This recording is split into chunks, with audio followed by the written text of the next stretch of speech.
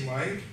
За втора поредна година в нашия университет честваме празника чрез а, от, а, из, така да се каже а, заемане на ръководните позиции в университета от студенти, които имат еквивалентни позиции в студентски съвет, а именно Ден на студентско самоуправление.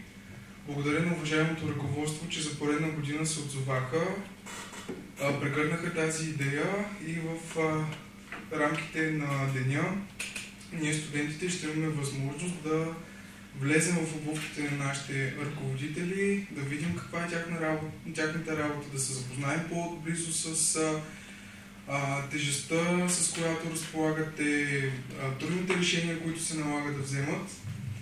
А, благодаря ви отново, че се отзовахте всички. Сега, ако позволите, искам да представя моя екип, който ще ви придружава днеска. Ще започна по нисходящ ред. Временно изпълняващ длъжността ректор на Медицинския университет Пловдив Ерай Шакир. Временно изпълняващ длъжността заместник ректор по учебна дейност Здравко Иванов. Моля да се представите. Благодаря. Заместник ректор научно-изследователска дейност Мартин Карлюков. малко забавяне ще има, но и професор Маринов предполагаме в ректората. Заместник ректор Международно сътрудничество и проектна дейност Анета Читкушева в екип с Елиша Тейлър, заместник ректор по управление на качеството Антони Бошков, Здравейте. Заместник ректор по учебно-болнична координация Стефан Михалев, главен секретар Светлана Бочева, помощник ректор Стефани Хаджиминчева, така. Ръководител отдел реклама и ръководител отдел реклама Катерина Михайлова. Дека на медицински факултет, временно изпълняващ длъжността дека на медицински факултет Виктория Карамилева. Временно изпълняващ длъжността дека на дентален факултет Алис Димитрова. В екип с Дилан Миро временно изпълняващ длъжността дека на фармацевтичен факултет Георги Асенов, декан на факултета по обществено здраве Теодора Димова, Здравейте! Директор на медицински колеж Таня Гешева, Здравейте! директор на ДЕСО Аделина Боянова, Здравейте! в екип с Русица Карова, главен счетоводител Николета Данчева, и временно изпълняващ длъжността началник на учебен отдел Адел Хилал. Благодаря, уважаеми колеги. Честит празник. Ден на, Ден на Европа, но нека да не забравяме, че всъщност това е деня на победата над хитлерофашизма. И ако не беше тази победа, която маркира и победата при най-голямата световна война, която сме имали, Втората световна война, нямаше да има Европа. Това е много символичен ден, който маркира не само победа над хитлерофашизма, но също така отваря и път за единението на Европа. И не случайно Деня на Европа е символ на едно обединение, на общи ценности европейски, които всички ние изповядваме. Не знам дали знаете каква е историята на този ден, но а, той се създава по предложение на един френски министър и политик, Робер Шуман, който казва, че на Европа е необходимо политическо единение, не само економическо. Общи политики на развитие на европейските държави, които да бъдат в синхрон и които да дадат така очакваното обединение. Именно неговата декларация на Шуман, която може да се намери в интернет, се счита, че тя всъщност е предвестник или предшественик на създаването на този ден на Европа няколко години след Втората световна война. И днес ние празнуваме този ден, убедени в необходимостта от това да бъдем единни. Не само да има единство в европейските страни, но единство да има и в организациите, които управляваме. И никога не съм си мислила, че преподаватели от студенти в нашите университети могат да бъдат разделени.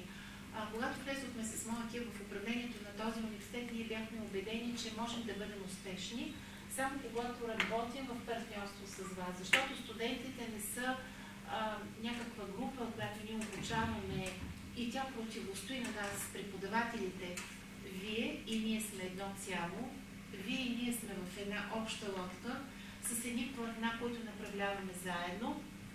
И тя вярвам, че понякога а, ректорските и академичните съвети имат двето на вашите решения. Няма как да не е така. Все пак сме се самочувствието, че имаме малко по-богат опит от вас, но знаете, че винаги съм уважавала вашето мнение и не случайно на ректорските и на академичните съвети винаги присъства ваш представител, който може да изкаже и трябва да ви кажа много добре защитава вашите интереси. Понякога толкова добре, че те могат да бъдат и в общърп на общото развитие на университета, да ви цитирам платените такси за обучение, но винаги, винаги сме а, били а, много отворени за това да проучваме вашето мнение, за това да правим диалог с вас, а, за това да ви изслушваме и разбира се, там където, където е необходимо да правим и корекции. Надявам се, че не се сърдите. Затова в над 90% от случаите аз мисля, че ние през последните 2-3 години сме удовлетворявали исканията на студентите, особено когато те са били много аргументирани.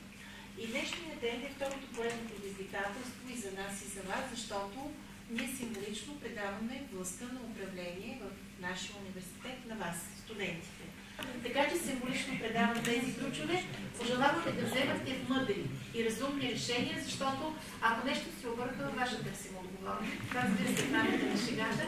Искам да ви плаша, но много се надявам всички вие, които сте тук, са да бъдете бъдещи управленци. Успех на всички мъдри и разумни решения. Ето го ключето.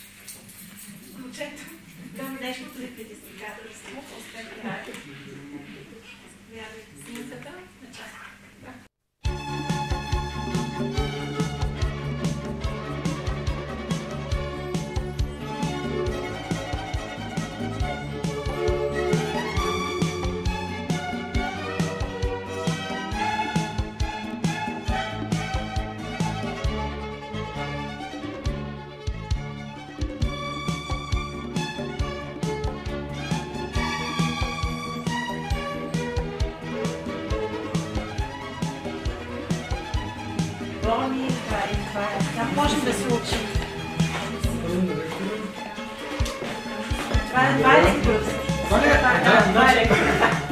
Дам.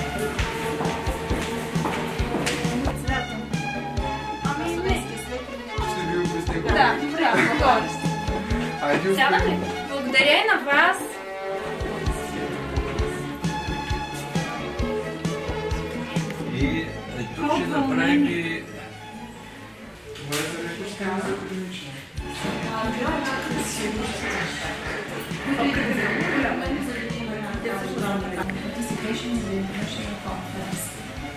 Която е доклад предложение ето на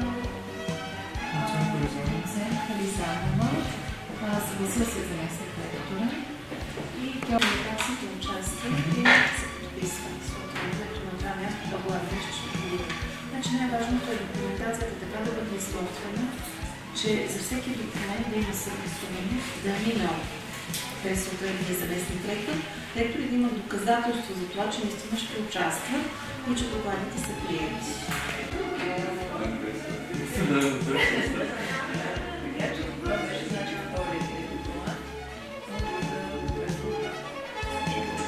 Е, сега ще ви разпечатаме тези документи, това е постановление, проект за постановление на Министерския съвет. Вие седнете и го четете и кажете какво разбирате от тези библиотека и какво ви приложи да се доуточи.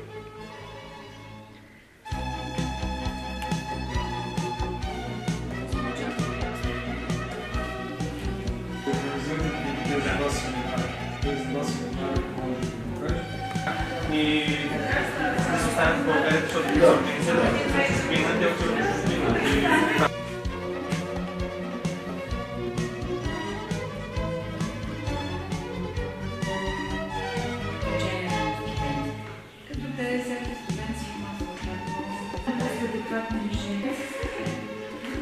При нас от миналата година